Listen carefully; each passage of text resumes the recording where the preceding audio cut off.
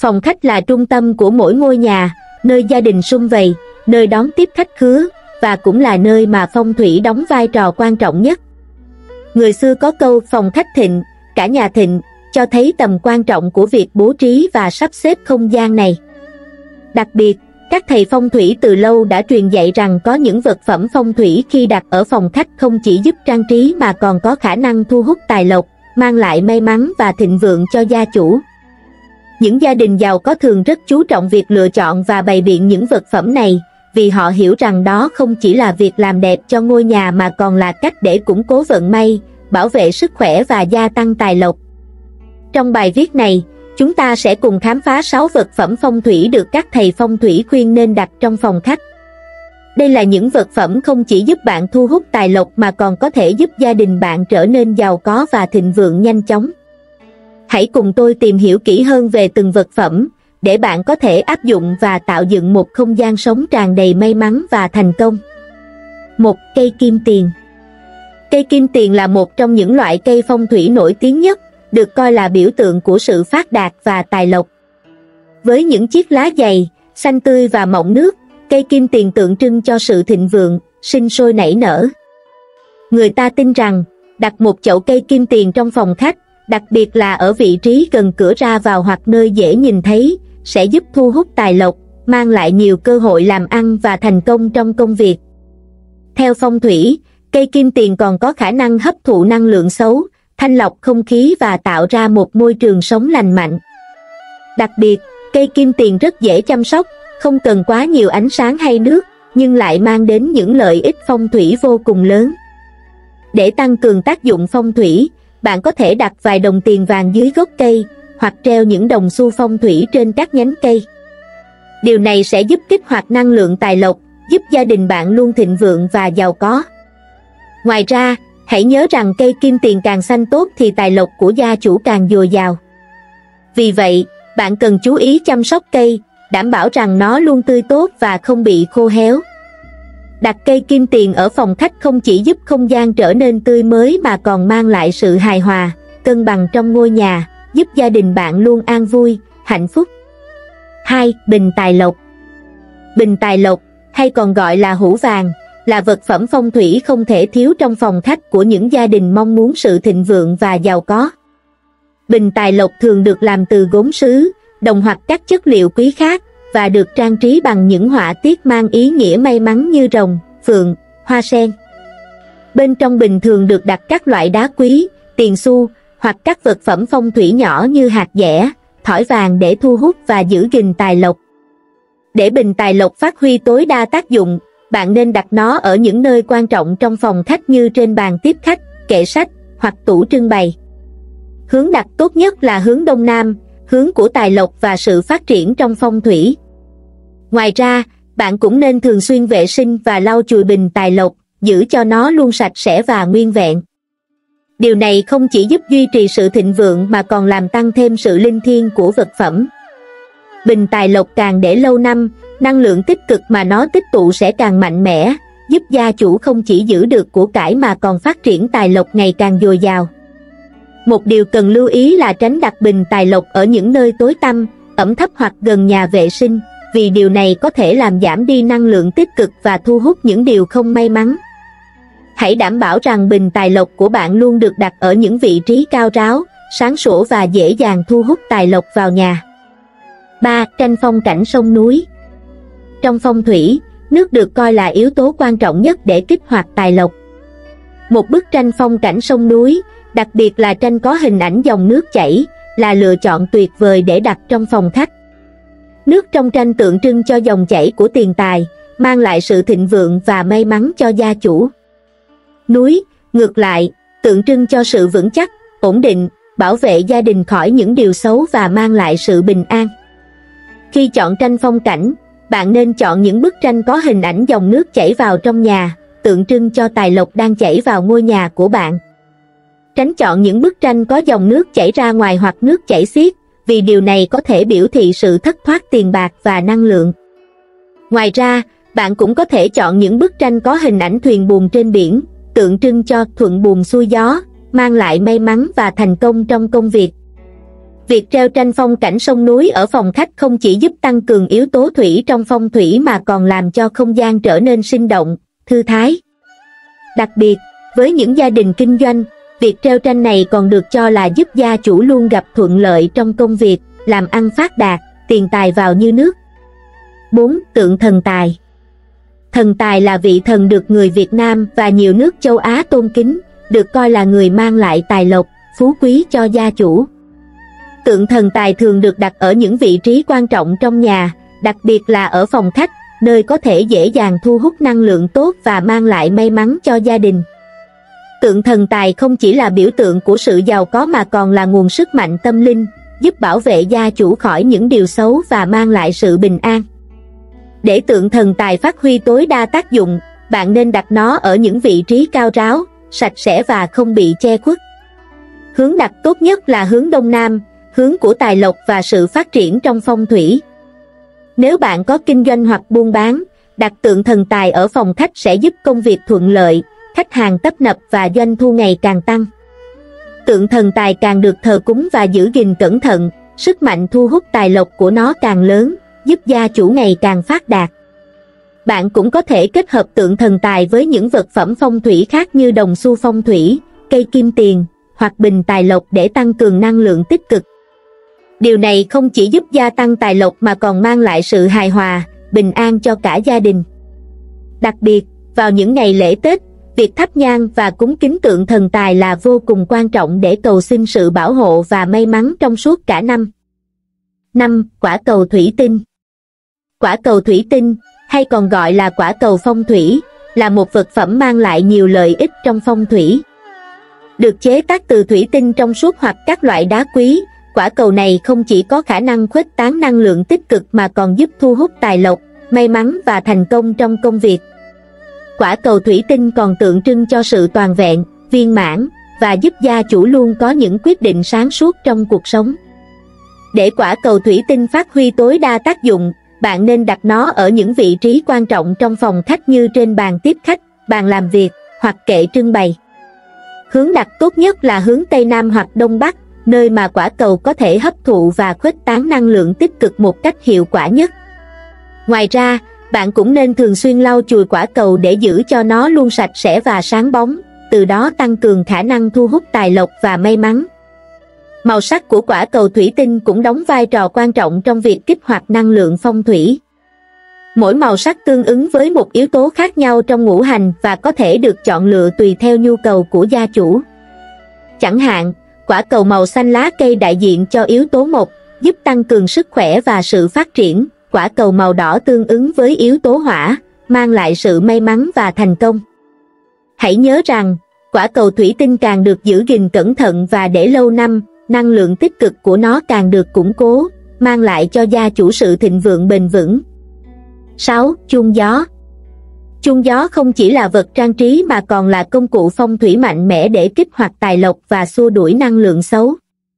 Âm thanh len ken của chuông gió khi có gió thổi qua được cho là có khả năng làm tan biến những tà khí, năng lượng xấu và thay vào đó là năng lượng tích cực.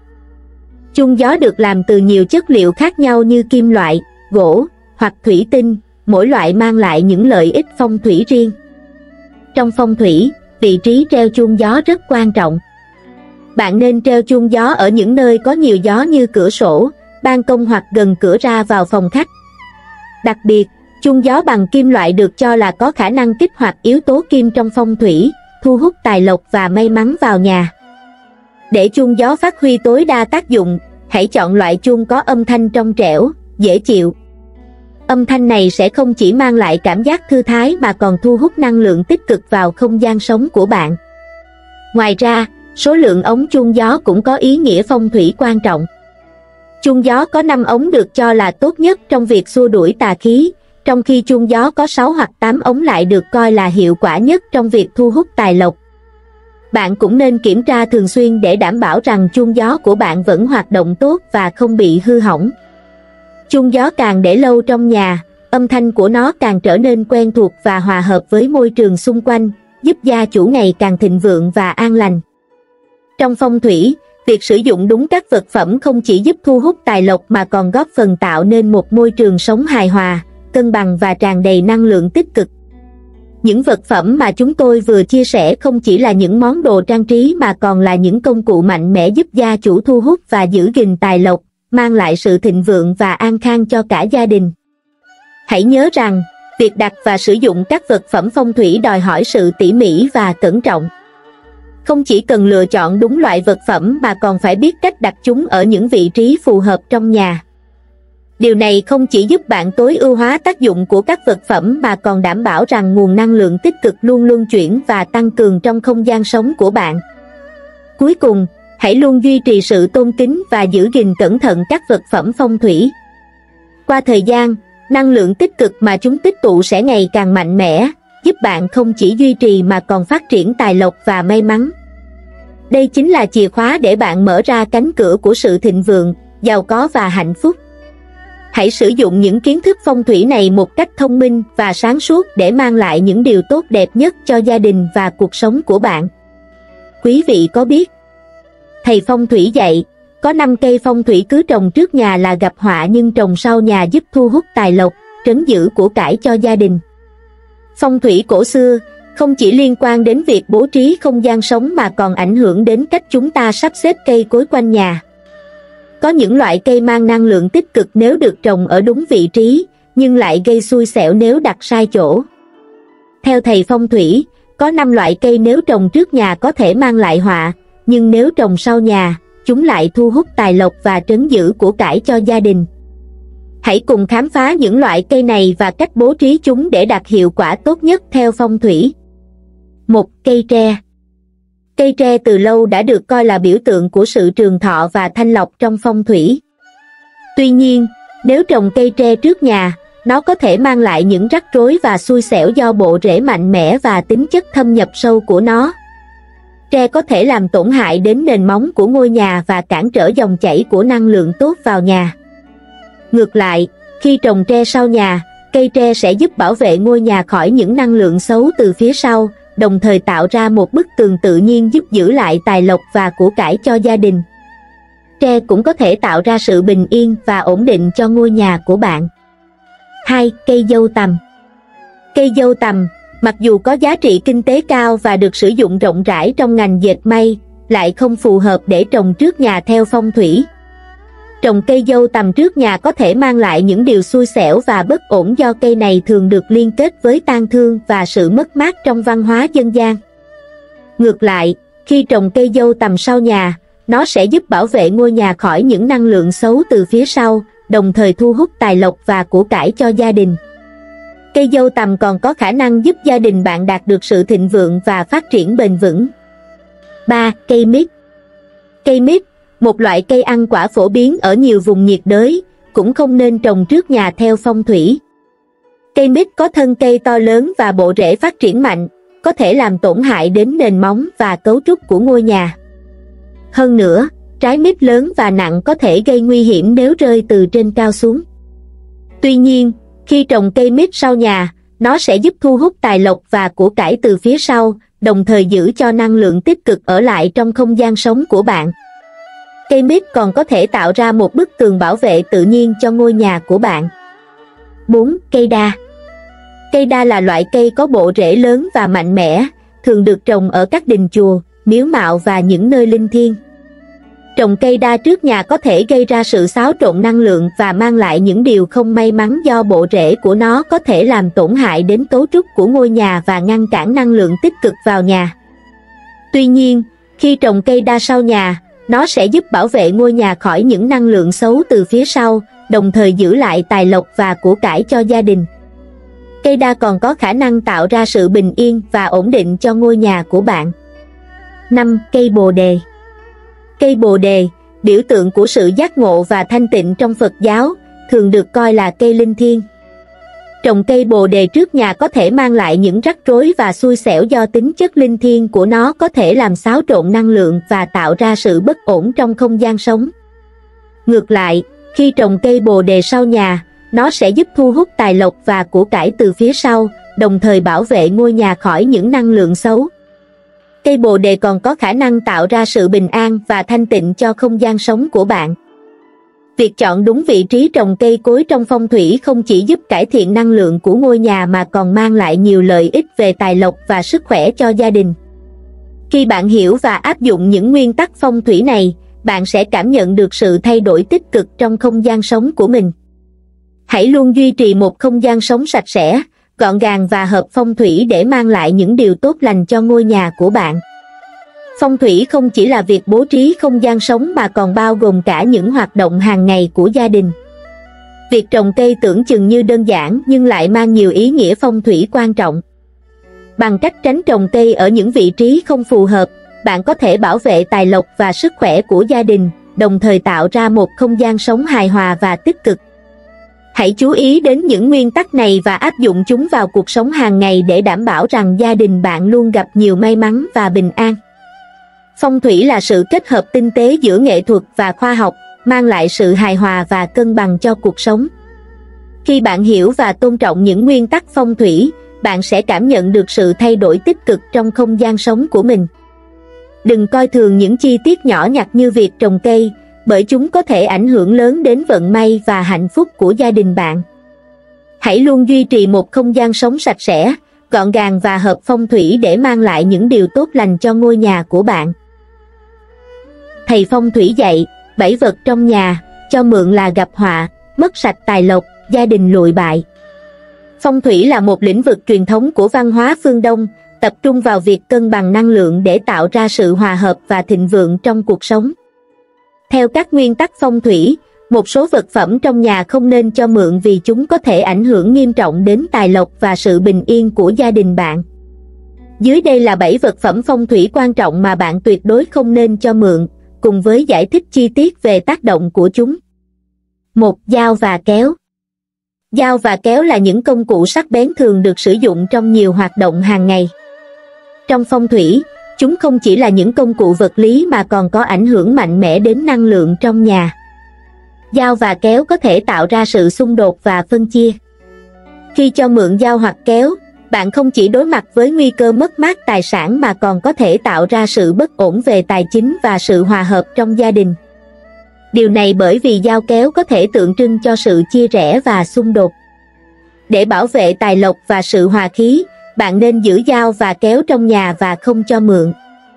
2. Tượng con cốc ngậm tiền Tượng con cốc ngậm tiền, còn gọi là thiềm thừ là biểu tượng phong thủy mạnh mẽ giúp thu hút tài lộc và may mắn. Con cốc ngậm tiền thường được đặt ở các vị trí quan trọng trong nhà hoặc văn phòng, như gần cửa ra vào hoặc trên bàn làm việc, để thu hút sự giàu có và tài lộc. Tuy nhiên, khi bạn cho mượn tượng con cốc ngậm tiền, bạn có thể làm giảm khả năng thu hút tài lộc và may mắn mà nó mang lại. Tượng này không chỉ mang lại may mắn mà còn giúp bảo vệ khỏi những năng lượng tiêu cực. Để duy trì tài lộc và sự thịnh vượng, hãy giữ tượng con cốc ngậm tiền trong nhà và không cho mượn. 3. Cây kim tiền Cây kim tiền, còn được gọi là cây phát tài, là một loại cây phong thủy phổ biến với hình dáng giống như những đồng tiền. Cây kim tiền thường được trồng trong nhà để thu hút tài lộc và sự thịnh vượng. Cây này không chỉ tạo ra không gian xanh mát mà còn giúp tăng cường năng lượng tài chính và may mắn. Khi cho mượn cây kim tiền, bạn có thể làm giảm sự thịnh vượng và tài lộc trong không gian sống của mình. Cây kim tiền còn được biết đến với khả năng tạo ra sự hài hòa và cân bằng năng lượng trong không gian sống. Để bảo vệ tài lộc và sự thịnh vượng, hãy giữ cây kim tiền trong nhà và không cho mượn. 4. Tượng Ngọc Rồng Tượng Ngọc Rồng là biểu tượng phong thủy mạnh mẽ của sự thịnh vượng, quyền lực và thành công. Rồng trong phong thủy thường được coi là một biểu tượng của sức mạnh và may mắn, giúp thu hút tài lộc và bảo vệ gia đình khỏi các thế lực xấu. Rồng có thể tạo ra một năng lượng tích cực mạnh mẽ trong không gian sống. Khi cho mượn tượng ngọc rồng, bạn có thể làm mất đi sự bảo vệ và tài lộc mà nó mang lại. Tượng ngọc rồng không chỉ mang đến may mắn mà còn giúp bảo vệ gia đình khỏi những rủi ro. Để duy trì sự thịnh vượng và bảo vệ tài lộc, hãy giữ tượng ngọc rồng trong nhà và không cho mượn. 5. Tượng cá chép Tượng cá chép là một biểu tượng phong thủy được dùng để thu hút sự thành công và tài lộc. Cá chép đại diện cho sự kiên trì và thành công trong cuộc sống, đặc biệt là trong sự nghiệp. Trong phong thủy, cá chép còn được xem là biểu tượng của sự vượt qua khó khăn và đạt được thành công lớn. Khi cho mượn tượng cá chép, bạn có thể làm giảm sự may mắn và thành công mà nó mang lại. Tượng cá chép có thể tạo ra một nguồn năng lượng tích cực mạnh mẽ, giúp gia đình bạn đạt được những mục tiêu lớn. Để bảo vệ tài lộc và sự thịnh vượng, hãy giữ tượng cá chép trong nhà và không cho mượn. 6. Đĩa tiền ngọc Đĩa tiền ngọc là một biểu tượng phong thủy của sự thịnh vượng và may mắn. Được làm từ ngọc hoặc đá quý, đĩa tiền ngọc thường được đặt ở các vị trí quan trọng trong nhà như bàn làm việc, kệ tủ, hoặc gần cửa ra vào để thu hút tài lộc. Đĩa tiền ngọc không chỉ là một vật phẩm trang trí đẹp mắt mà còn có khả năng tạo ra một nguồn năng lượng phong thủy tích cực. Khi cho mượn đĩa tiền ngọc, bạn có thể làm giảm hiệu quả phong thủy và làm mất đi tài lộc mà nó mang lại. Để duy trì sự thịnh vượng và may mắn, hãy giữ đĩa tiền ngọc trong nhà và không cho mượn. 7. Tượng Phật Di Lặc Tượng Phật Di Lặc thường được đặt trong nhà với mong muốn mang lại sự vui vẻ, hòa hợp và tài lộc. Phật Di Lặc, với nụ cười rộng lớn và hình dáng bụng lớn, tượng trưng cho sự hạnh phúc và tài lộc vô biên. Đặt tượng Phật Di Lặc trong nhà có thể giúp gia đình bạn cảm thấy bình yên và thu hút năng lượng tích cực. Khi cho mượn tượng Phật Di Lặc, bạn có thể làm giảm sự may mắn và tài lộc mà nó mang lại. Để bảo vệ sự thịnh vượng và hòa khí trong gia đình, hãy giữ tượng Phật Di Lặc trong nhà và không cho mượn. Trong phong thủy, việc cho mượn những vật phẩm trong nhà không chỉ đơn thuần là hành động xã hội mà còn có thể ảnh hưởng sâu sắc đến tài lộc và sự thịnh vượng của gia đình. Dao kéo, tượng con cốc ngậm tiền, cây kim tiền, tượng ngọc rồng, tượng cá chép, đĩa tiền ngọc và tượng Phật Di Lặc đều có thể tác động đến vận mệnh và tài chính của bạn. Hãy cân nhắc kỹ lưỡng trước khi cho mượn bất kỳ vật phẩm nào và giữ gìn tài sản của mình để bảo vệ sự hòa hợp và thành công trong cuộc sống. Kính thưa quý vị thân mến, trong tâm linh phong thủy nhà ở, cây lưỡi hổ xua đuổi tà ma, hút tài lộc đừng trồng linh tinh, đây mới là vị trí tốt ai cũng nên biết. Trong cuộc sống hiện đại, cây cảnh không chỉ là những vật phẩm trang trí đơn thuần mà còn đóng vai trò quan trọng trong việc cải thiện phong thủy, thu hút tài lộc và xua đuổi tà ma. Trong số đó, cây lưỡi hổ là một trong những loại cây được yêu thích nhất bởi khả năng thanh lọc không khí và mang lại may mắn cho gia chủ. Cây lưỡi hổ không chỉ dễ trồng, dễ chăm sóc mà còn có nhiều tác dụng tuyệt vời đối với sức khỏe và phong thủy ngôi nhà. Tuy nhiên, để cây lưỡi hổ phát huy hết tác dụng của nó, việc chọn vị trí trồng cây là vô cùng quan trọng. Trong bài viết này, chúng ta sẽ cùng khám phá bốn vị trí lý tưởng trong nhà để trồng cây lưỡi hổ, đảm bảo mang lại may mắn và tài lộc cho gia đình. Hãy cùng tìm hiểu và áp dụng ngay để ngôi nhà của bạn luôn tràn đầy năng lượng tích cực và thịnh vượng.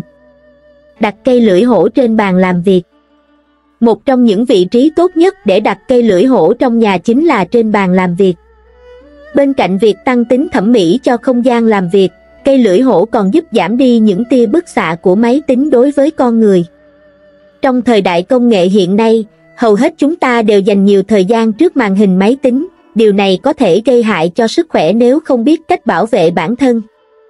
Cây lưỡi hổ có khả năng hút tia tử ngoại từ máy tính, tạo ra không gian làm việc trong lành và thoải mái hơn. Không chỉ vậy, xét về phong thủy, cây lưỡi hổ còn mang ý nghĩa thu hút tài lộc và may mắn. Đặt cây lưỡi hổ trên bàn làm việc không chỉ giúp công việc của bạn thuận lợi hơn mà còn giúp tinh thần thoải mái, giảm bớt căng thẳng và áp lực. Mỗi khi mệt mỏi, bạn chỉ cần nhìn vào màu xanh tươi mát của cây, hít thở không khí trong lành mà cây mang lại, bạn sẽ cảm thấy dễ chịu và tràn đầy năng lượng hơn. Ngoài ra, cây lưỡi hổ còn có khả năng làm tăng sự sáng tạo và tập trung. Những người làm việc trong môi trường có cây xanh thường có xu hướng làm việc hiệu quả hơn, sáng tạo hơn và ít bị stress hơn. Do đó, việc đặt cây lưỡi hổ trên bàn làm việc không chỉ là cách trang trí mà còn là một phương pháp hữu hiệu để cải thiện hiệu suất công việc và chất lượng cuộc sống.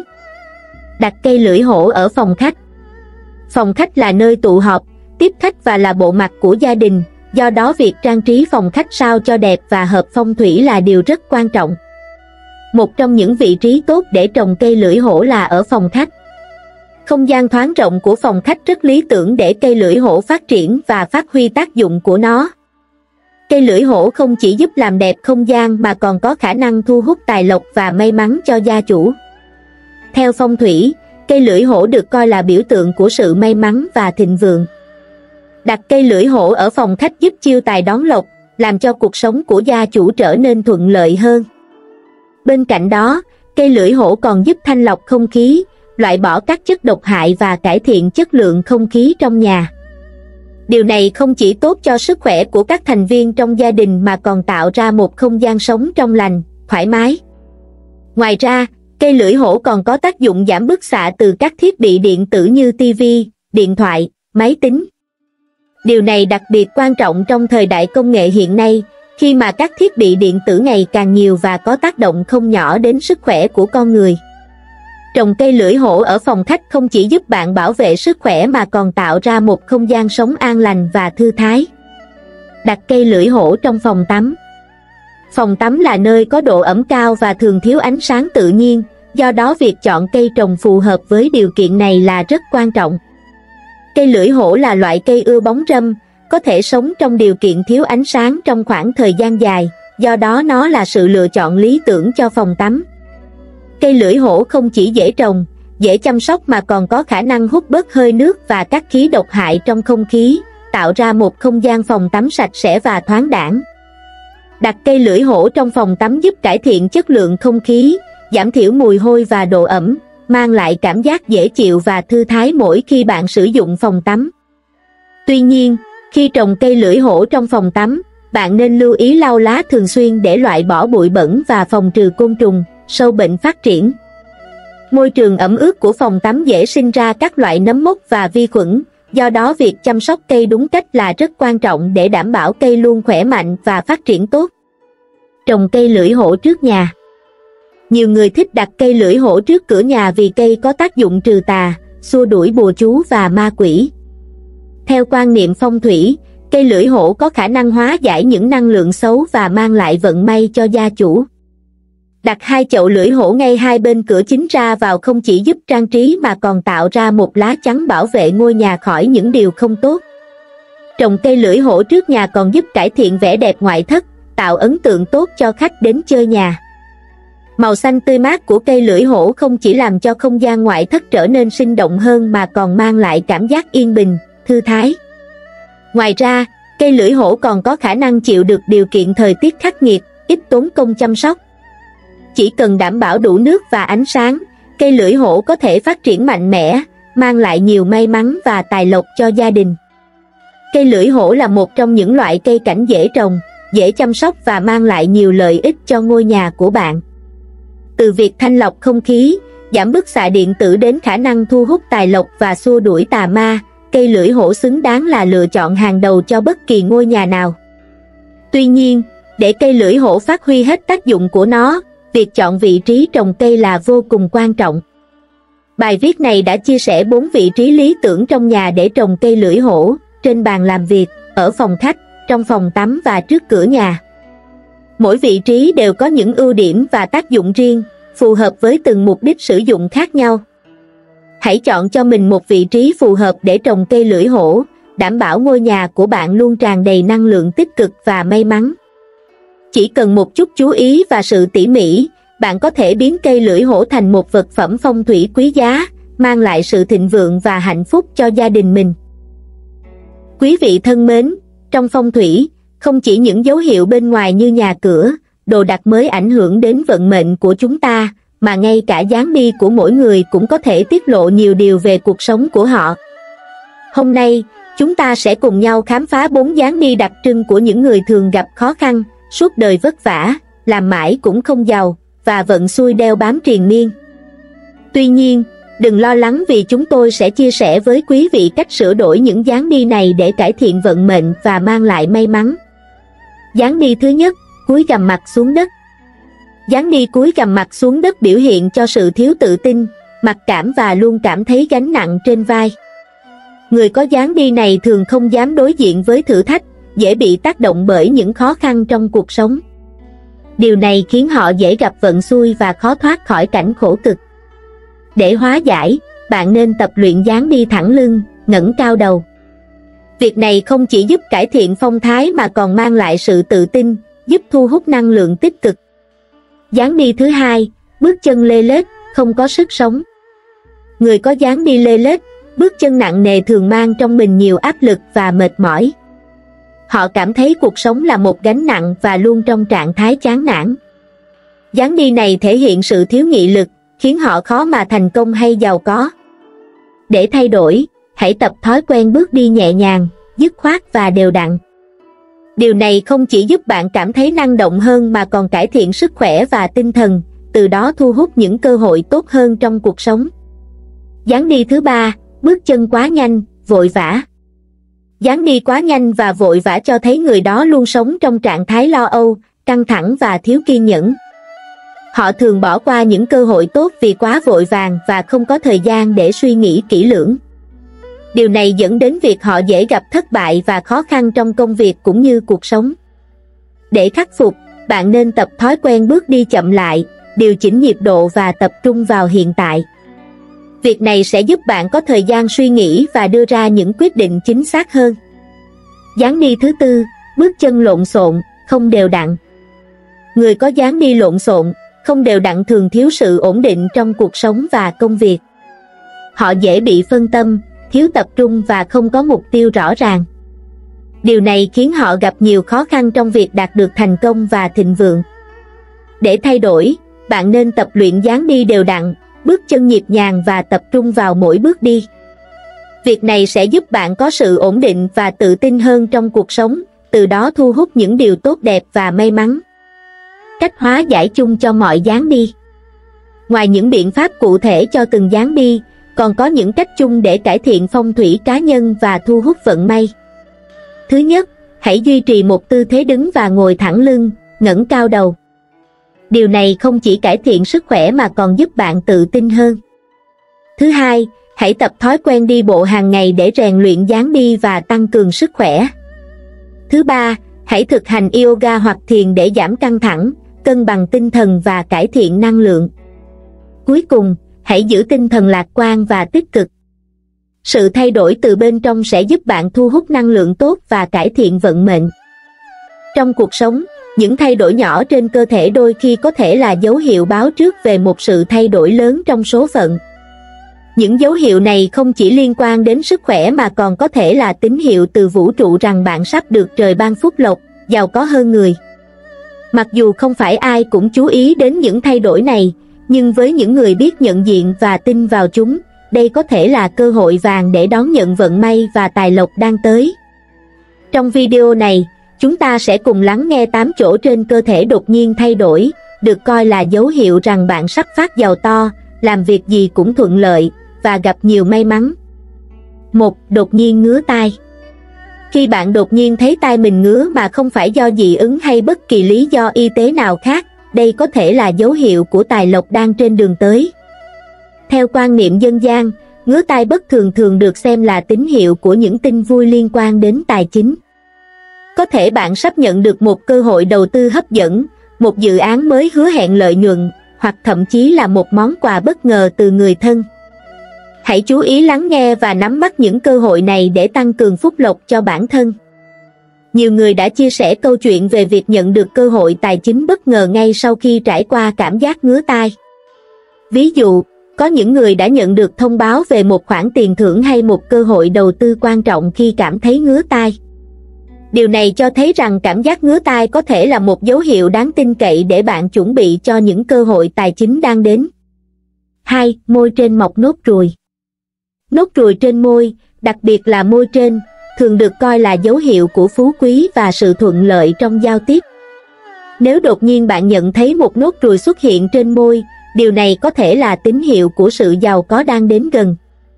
Những người có nốt ruồi ở vị trí này thường gặp nhiều may mắn trong công việc, đặc biệt là trong việc xây dựng mối quan hệ và thăng tiến trong sự nghiệp.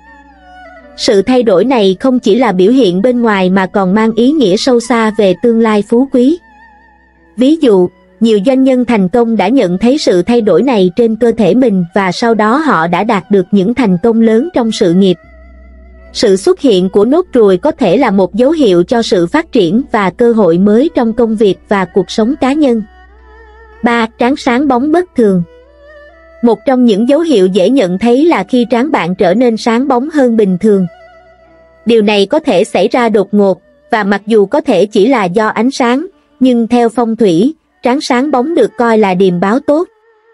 Người xưa tin rằng tráng là nơi hội tụ của năng lượng và nếu nó trở nên sáng bóng, điều này báo hiệu rằng bạn sắp nhận được một nguồn năng lượng tích cực và may mắn, giúp bạn thành công và giàu có hơn. Tráng sáng bóng thường được cho là dấu hiệu của sự thịnh vượng và tài lộc sắp đến. Ví dụ, nhiều người đã báo cáo về sự thay đổi tích cực trong cuộc sống và tài chính sau khi tráng của họ có dấu hiệu này.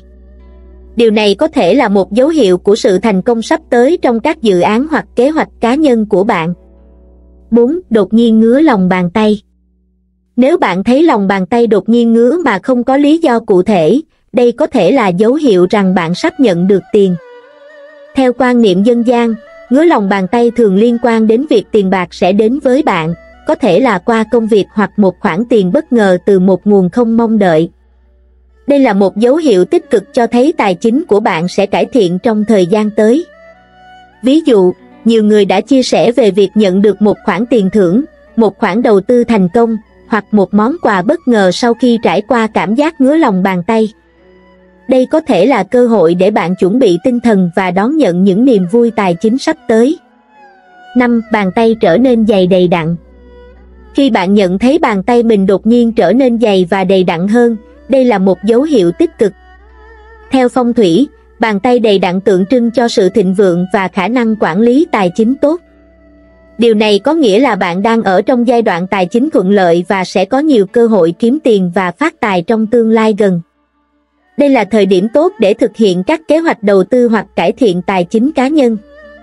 Ví dụ, nhiều người đã thấy sự thay đổi tích cực trong tài chính và công việc sau khi bàn tay của họ trở nên đầy đặn hơn. Điều này có thể là một dấu hiệu của sự thịnh vượng và cơ hội tài chính đang đến gần. 6. Lông mày mọc đậm rõ nét Lông mày là một trong những yếu tố quan trọng trong phong thủy và thẩm mỹ. Nếu bạn thấy lông mày của mình mọc đậm và rõ nét hơn, đây có thể là dấu hiệu của sự thịnh vượng và phú quý. Lông mày đậm và rõ nét thường liên quan đến sức khỏe tốt và sự ổn định tài chính. Điều này báo hiệu rằng bạn đang có nhiều cơ hội để thành công và làm giàu. Ví dụ, nhiều người đã thấy sự thịnh vượng trong cuộc sống và sự nghiệp sau khi lông mày của họ trở nên đậm và rõ nét hơn. Đây có thể là dấu hiệu của sự thành công và tài lộc sắp đến trong cuộc sống cá nhân và nghề nghiệp của bạn. 7. Giái tai to và dài Giái tai được coi là biểu tượng của tài lộc và sự trường thọ. Nếu bạn nhận thấy giái tai của mình đột nhiên trở nên to và dài hơn, điều này có thể là một dấu hiệu cho thấy bạn sắp đón nhận sự giàu có và may mắn. Giái tai to và dài thường liên quan đến sự thịnh vượng và khả năng tích lũy tài sản. Đây là thời điểm tốt để thực hiện các kế hoạch tài chính và đầu tư. Ví dụ, nhiều người đã thấy sự thay đổi tích cực trong cuộc sống và sự nghiệp khi giái tai của họ trở nên to và dài hơn. Đây có thể là dấu hiệu của sự thịnh vượng sắp đến và cơ hội tài chính đang đến gần. 8. Gót chân đỏ hồng Gót chân đỏ hồng tự nhiên là dấu hiệu cho thấy tài lộc đang dồn về phía bạn. Theo quan niệm phong thủy, gót chân là nơi giữ tiền của, và nếu nó đỏ hồng tự nhiên, điều này cho thấy rằng bạn đang ở trong giai đoạn tài chính thuận lợi. Những người có dấu hiệu này thường gặp may mắn trong kinh doanh, đầu tư và các hoạt động tài chính khác. Đây là thời điểm tốt để thực hiện các kế hoạch tài chính và tận dụng những cơ hội mới. Ví dụ, nhiều người đã báo cáo về sự thành công tài chính và cơ hội mới trong kinh doanh sau khi gót chân của họ có dấu hiệu đỏ hồng.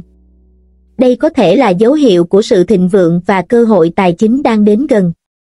Trong cuộc sống hàng ngày, chúng ta thường phải đối mặt với nhiều thử thách và những nguồn năng lượng không tốt. Từ những tác động của tà ma đến những ảnh hưởng tiêu cực từ môi trường xung quanh, việc bảo vệ bản thân và gia đình khỏi những yếu tố này là rất quan trọng. Hãy cùng lắng nghe 7 vật dụng phong thủy đặc biệt giúp trừ tà ma và bảo vệ bình an cho bạn trong video hôm nay. Những vật dụng này không chỉ giúp xua đuổi năng lượng xấu mà còn mang lại sự an tâm và may mắn. Hãy theo dõi để biết cách sử dụng chúng hiệu quả nhất để bảo vệ bản thân và gia đình. Một Hạt đào tiên Hạt đào tiên là một vật dụng phong thủy mạnh mẽ với khả năng trừ tà ma và bảo vệ người sở hữu khỏi những năng lượng tiêu cực. Hạt đào tiên có hình dạng đặc biệt và cấu trúc nhiều lớp, giúp hấp thụ năng lượng xấu và bảo vệ bạn khỏi những tác động không mong muốn. Cách sử dụng, mang theo hạt đào tiên bên mình trong ví, túi sách hoặc đặt ở những vị trí quan trọng trong nhà như bàn thờ tổ tiên, góc làm việc hoặc đầu giường. Để tăng cường hiệu quả, hãy làm sạch hạt đào tiên định kỳ và nạp lại năng lượng tích cực bằng cách phơi dưới ánh sáng mặt trời. Ví dụ thực tế, một số người đã chia sẻ rằng việc đặt hạt đào tiên ở cửa ra vào giúp cảm nhận sự bình an và giảm bớt lo âu, đặc biệt trong những thời điểm căng thẳng. 2. Chuỗi hạt trầm hương Chuỗi hạt trầm hương không chỉ nổi tiếng với mùi hương dễ chịu mà còn vì khả năng trừ tà ma hiệu quả. Trầm hương có tính chất làm dịu và hấp thụ năng lượng xấu, đồng thời thu hút năng lượng tích cực. Cách sử dụng, mang theo chuỗi hạt trầm hương bên mình hoặc đặt nó ở những khu vực quan trọng trong nhà như phòng khách hoặc văn phòng làm việc. Để tăng cường hiệu quả, hãy đốt trầm hương định kỳ để làm sạch không khí và gia tăng sự bình an. Ví dụ thực tế, nhiều người cho rằng việc đeo chuỗi hạt trầm hương khi đi ra ngoài giúp họ cảm thấy tự tin hơn và giảm bớt cảm giác lo lắng. 3. Phật bản mệnh Phật bản mệnh là một biểu tượng phong thủy mạnh mẽ giúp trừ tà ma và bảo vệ bình an. Mỗi người có một Phật bản mệnh tương ứng với ngày sinh, giúp cung cấp sự bảo vệ và hỗ trợ tinh thần. Cách sử dụng, đeo mặt dây chuyền hoặc đặt Phật bản mệnh ở những vị trí trang trọng trong nhà như bàn thờ hoặc kệ sách. Nên thường xuyên làm sạch và cúng bái để duy trì năng lượng tích cực. Ví dụ thực tế, nhiều người đã cảm nhận được sự bình an và may mắn khi đặt tượng Phật bản mệnh ở góc nhà đối diện cửa ra vào, giúp bảo vệ gia đình khỏi các ảnh hưởng tiêu cực. 4. Bùa chống tà ma Bùa chống tà ma là một công cụ phong thủy phổ biến giúp bảo vệ khỏi năng lượng tiêu cực. Được viết bằng các ký tự và hình vẽ đặc biệt, bùa chống tà ma giúp hấp thụ và làm giảm các năng lượng xấu. Cách sử dụng, mang theo bùa chống tà ma trong ví, treo nó ở cửa ra vào hoặc trong các phòng quan trọng như phòng ngủ hoặc phòng làm việc. Đảm bảo bùa được giữ sạch sẽ và không bị ẩm ướt. Ví dụ thực tế, một số gia đình cho biết việc treo bùa chống tà ma ở cửa chính đã giúp họ cảm thấy an tâm hơn và giảm bớt cảm giác bất an trong nhà. 5. Bùa tâm linh Bùa tâm linh là một công cụ phong thủy phổ biến khác để trừ tà và bảo vệ khỏi năng lượng xấu. Được viết bằng các ký tự và hình vẽ đặc biệt, bùa tâm linh giúp bảo vệ người sở hữu khỏi sự xâm nhập của tà ma. Cách sử dụng, đặt bùa tâm linh ở các vị trí quan trọng trong nhà như cửa ra vào hoặc trên bàn thờ, hoặc mang theo bên mình để được bảo vệ mọi lúc mọi nơi.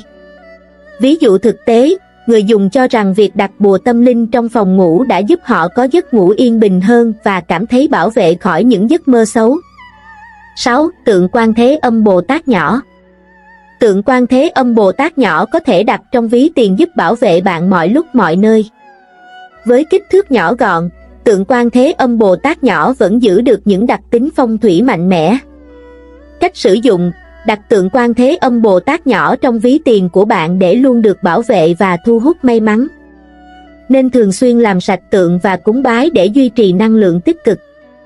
Ví dụ thực tế, nhiều người chia sẻ rằng việc đặt tượng quan thế âm Bồ Tát nhỏ trong ví đã giúp họ cảm thấy an tâm hơn khi đi ra ngoài và thu hút may mắn tài lộc. 7. Gương bát quái mini nhỏ Gương bát quái mini nhỏ là một vật dụng phong thủy hữu ích có thể mang theo bên mình hoặc để trong ví tiền. Với khả năng phản chiếu và làm suy yếu năng lượng xấu, gương bát quái mini giúp bảo vệ bạn khỏi sự xâm nhập của tà ma. Cách sử dụng, đặt gương bát quái mini trong ví tiền của bạn để bảo vệ tài sản và thu hút năng lượng tích cực. Nên làm sạch gương định kỳ để duy trì hiệu quả của nó. Ví dụ thực tế, người sử dụng gương bát quái mini cho rằng việc mang theo gương này đã giúp họ cảm thấy an toàn hơn khi đi ra ngoài và bảo vệ tài sản cá nhân. Sử dụng các vật dụng phong thủy để trừ tà ma không chỉ giúp bảo vệ bạn khỏi những năng lượng tiêu cực mà còn tạo ra một môi trường sống bình an và tích cực.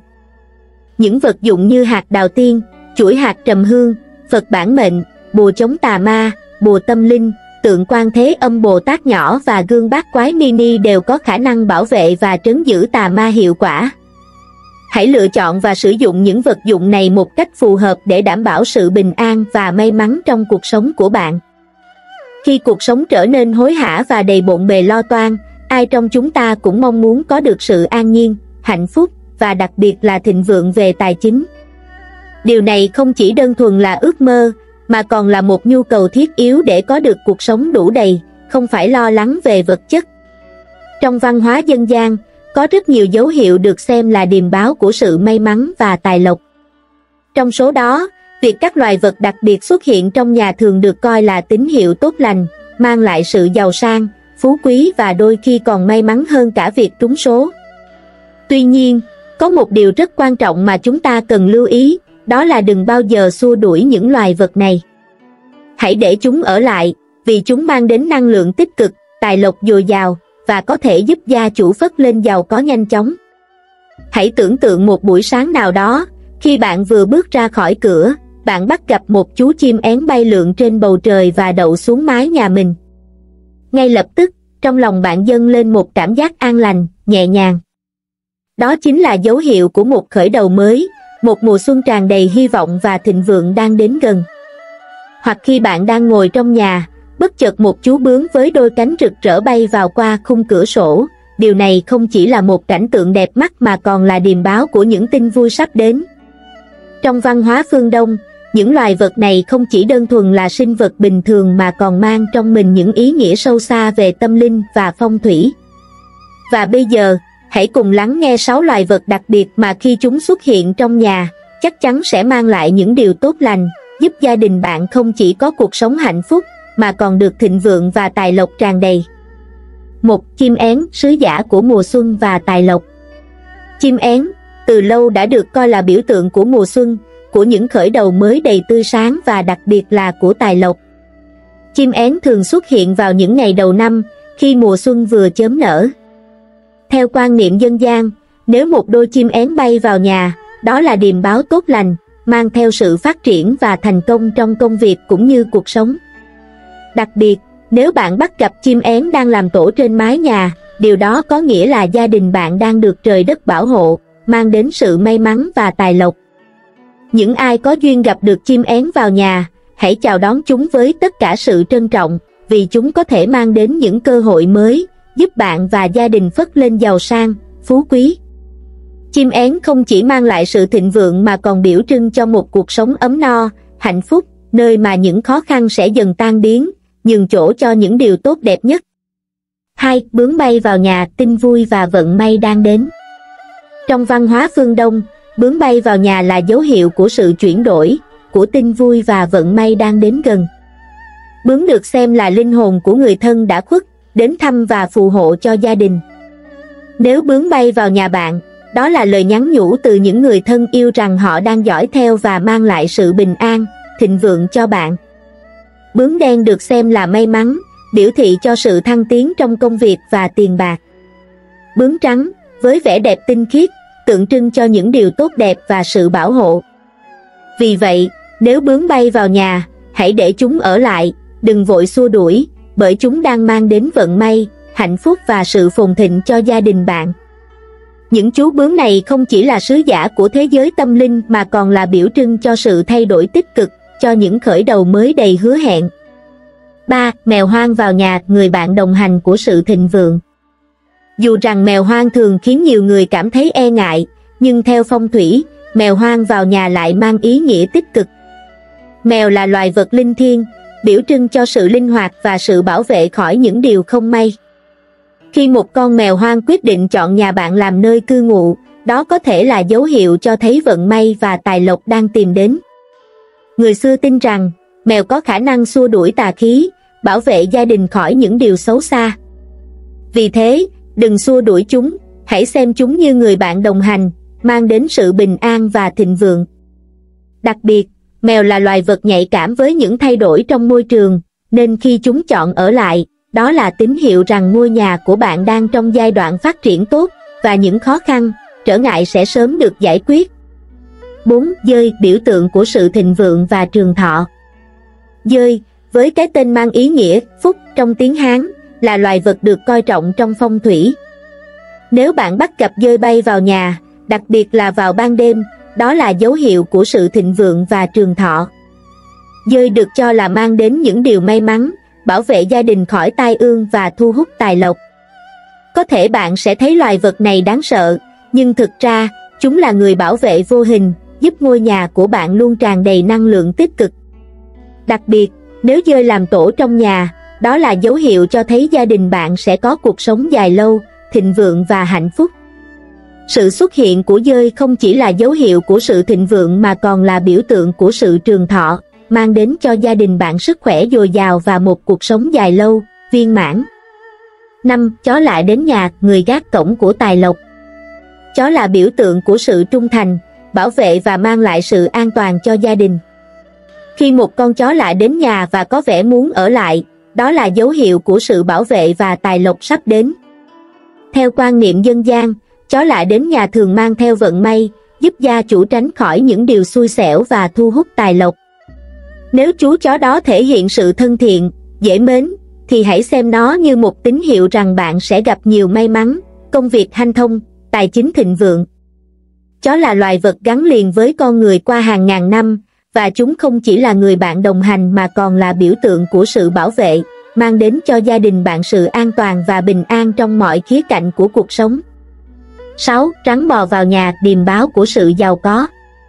rắn một loài vật thường bị xem là nguy hiểm, nhưng theo phong thủy, nếu rắn bò vào nhà, đặc biệt là rắn không độc, đó lại là điềm báo của sự giàu có và tài lộc. Người xưa tin rằng, rắn là biểu tượng của sự mạnh mẽ, thông minh và sự bảo vệ.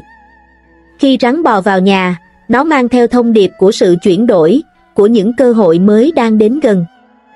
Điều quan trọng là không nên hoảng sợ hay làm hại rắn, mà hãy để nó tự rời đi, bởi rắn đến nhà là dấu hiệu cho thấy gia đình bạn sẽ sớm được trời Phật ban lộc, công việc thuận lợi và tài chính dồi dào. Sự xuất hiện của rắn có thể là một điều bất ngờ, nhưng nó mang trong mình ý nghĩa sâu sắc về sự chuyển biến tích cực, giúp gia đình bạn có được sự thịnh vượng và ổn định lâu dài. 6. Đồ vật trong nhà, tưởng đơn giản nhưng là vật thu hút tài lộc cho gia đình, tuyệt đối cấm cho mượn, kẻo mất sạch tài lộc, mang xui xẻo về cho gia đình. Kính chào quý thính giả, có những đồ vật trong nhà mà bạn có thể không để ý, nhưng lại có khả năng thu hút tài lộc cho gia đình bạn. Bạn có bao giờ tự hỏi rằng những món đồ tưởng chừng như đơn giản lại có thể ảnh hưởng mạnh mẽ đến vận mệnh tài chính của bạn? Trong thế giới phong thủy và tâm linh, có những vật phẩm mà khi được đặt đúng chỗ và chăm sóc đúng cách, chúng có thể trở thành những cỗ máy hút tài lộc, mang lại sự thịnh vượng và may mắn cho gia đình bạn. Tuy nhiên, cũng có một quy tắc quan trọng mà bạn cần ghi nhớ, đó là tuyệt đối không cho người khác mượn những đồ vật này, nếu không bạn có thể mất sạch tài lộc. Vì vậy, hãy cùng tôi tìm hiểu và khám phá 6 đồ vật quan trọng này, và làm thế nào để chúng có thể mang lại nguồn tài chính dồi dào cho gia đình bạn. Một Bể cá phong thủy Bể cá phong thủy không chỉ là một món đồ trang trí đẹp mắt, mà còn là một biểu tượng mạnh mẽ của sự thịnh vượng và tài lộc. Theo phong thủy, nước tượng trưng cho tài lộc và sự phát triển, trong khi cá, đặc biệt là cá vàng hoặc cá chép, được coi là biểu tượng của sự dồi dào và may mắn. Khi bạn chăm sóc bể cá một cách cẩn thận và giữ cho nước luôn trong sạch, bể cá sẽ giúp thu hút tài lộc và giữ cho nguồn tài chính của bạn luôn dồi dào. Đặc biệt, bạn nên chọn cá với màu sắc và kích cỡ phù hợp, vì mỗi loại cá có những ý nghĩa phong thủy khác nhau. Hãy nhớ rằng bể cá phong thủy nên được đặt ở những vị trí có ánh sáng tốt, nhưng không nên đặt ở nơi có ánh sáng trực tiếp quá mạnh, vì điều này có thể làm giảm sự phát triển của cá và ảnh hưởng đến tài lộc. Bể cá cũng cần được chăm sóc thường xuyên, từ việc thay nước đến việc làm sạch bể để đảm bảo năng lượng phong thủy luôn được duy trì. Đừng quên, việc cho người khác mượn bể cá hoặc thậm chí là chỉ mượn một phần nước cũng có thể ảnh hưởng đến sự ổn định của nguồn tài lộc.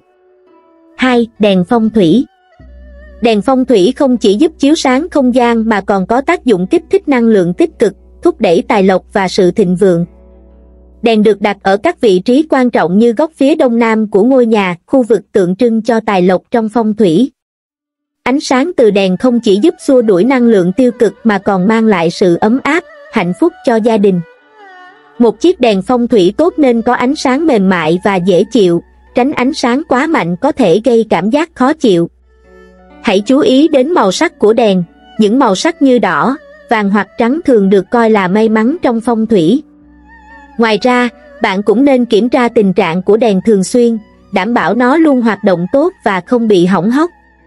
Một chiếc đèn phong thủy đúng cách sẽ giúp cân bằng năng lượng trong nhà và thu hút tài lộc, nhưng nếu bạn cho người khác mượn, có thể làm giảm hiệu quả thu hút tài lộc của nó. 3. Tượng Phật Di Lặc Tượng Phật Di Lặc, với nụ cười tươi tắn và bụng bự, không chỉ là biểu tượng của sự vui vẻ và hòa bình mà còn là một biểu tượng mạnh mẽ của sự thịnh vượng và tài lộc. Đặt tượng Phật Di Lặc ở những vị trí dễ thấy trong nhà, đặc biệt là gần cửa ra vào hoặc trên bàn làm việc, có thể giúp thu hút năng lượng tích cực và làm tăng tài lộc cho gia đình. Nụ cười của Phật Di Lặc được cho là có khả năng làm giảm căng thẳng và mang lại sự bình an cho không gian. Bên cạnh đó, hãy đảm bảo tượng Phật được đặt ở nơi sạch sẽ, thoáng mát và không bị che khuất bởi các đồ vật khác. Tượng Phật cần được giữ gìn cẩn thận, vì việc cho người khác mượn tượng Phật có thể làm giảm năng lượng tích cực mà tượng mang lại. Đồng thời, bạn cũng nên thường xuyên lau chùi tượng để giữ cho nó luôn sạch đẹp và hiệu quả phong thủy được duy trì. 4. Cây phát lộc Cây phát lộc, hay còn gọi là cây tài lộc, là một trong những loại cây cảnh được ưa chuộng trong phong thủy.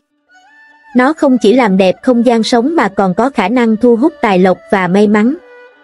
Cây phát lộc nên được đặt ở khu vực phía đông nam của ngôi nhà hoặc văn phòng, nơi được coi là vị trí phong thủy tốt nhất cho sự phát triển tài chính. Cây phát lộc có thể phát triển mạnh mẽ và mang lại năng lượng tích cực nếu được chăm sóc đúng cách. Hãy chú ý đến việc tưới nước đều đặn, tránh để cây bị khô héo hoặc quá ẩm ướt, và cũng nên kiểm tra định kỳ để phát hiện và xử lý các vấn đề về sâu bệnh. Đặc biệt, cây phát lộc cần được đặt ở nơi có ánh sáng phù hợp, không nên để cây tiếp xúc với ánh sáng mặt trời trực tiếp quá lâu, vì điều này có thể làm hại đến cây. Việc cho người khác mượn cây phát lộc có thể ảnh hưởng đến nguồn tài lộc mà cây mang lại, vì vậy hãy giữ cây trong nhà của bạn để duy trì sự ổn định của năng lượng tài chính. 5. Gương phong thủy Gương phong thủy có tác dụng phản chiếu và mở rộng không gian, đồng thời giúp khuếch đại năng lượng tích cực trong nhà. Đặt gương ở những vị trí hợp lý, như đối diện với cửa ra vào hoặc trong phòng khách, sẽ giúp thu hút tài lộc và tăng cường sự thịnh vượng. Gương có khả năng cải thiện ánh sáng và không gian, làm cho không gian trở nên rộng rãi và thoáng đãng hơn. Đặc biệt, gương phong thủy nên được làm sạch thường xuyên để đảm bảo không có bụi bẩn hoặc vết ố, vì điều này có thể làm giảm khả năng phản chiếu và làm ảnh hưởng đến năng lượng tích cực trong không gian. Tuyệt đối không nên cho người khác mượn gương phong thủy của bạn, vì sự thay đổi vị trí của gương có thể làm giảm tác dụng tích cực của nó.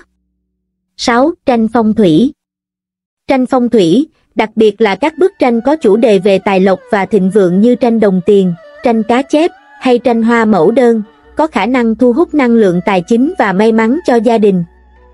Đặt tranh ở những vị trí thích hợp như phòng khách hoặc phòng làm việc sẽ giúp kích thích tài lộc và mang lại sự phát triển cho gia đình. Hãy chú ý đến màu sắc và chủ đề của tranh, vì mỗi loại tranh mang một ý nghĩa phong thủy khác nhau. Tranh phong thủy cũng cần được treo cố định, không nên di chuyển thường xuyên, và tuyệt đối không nên cho người khác mượn, vì điều này có thể làm giảm khả năng thu hút tài lộc của chúng. Những đồ vật này, dù có vẻ đơn giản, nhưng nếu được đặt đúng chỗ và chăm sóc đúng cách, có thể trở thành những cỗ máy hút tài lộc cho gia đình bạn. Để đạt được kết quả tốt nhất, hãy chú ý đến từng chi tiết trong cách bạn chăm sóc và bố trí chúng. Đừng quên rằng việc bảo quản chúng một cách cẩn thận và không cho người khác mượn sẽ giúp duy trì nguồn tài lộc mạnh mẽ cho gia đình bạn. Hy vọng những thông tin này sẽ giúp bạn hiểu rõ hơn về cách tận dụng phong thủy trong không gian sống của mình để thu hút tài lộc và may mắn.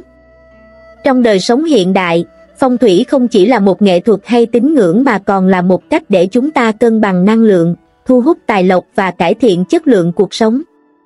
Mỗi khi nhắc đến phong thủy, người ta thường nghĩ đến những nguyên tắc phức tạp hay các vật phẩm đắt tiền, nhưng thực tế, ngay cả những thứ đơn giản và gần gũi trong cuộc sống hàng ngày cũng có thể trở thành những yếu tố mạnh mẽ giúp chúng ta cải thiện vận may và tài lộc.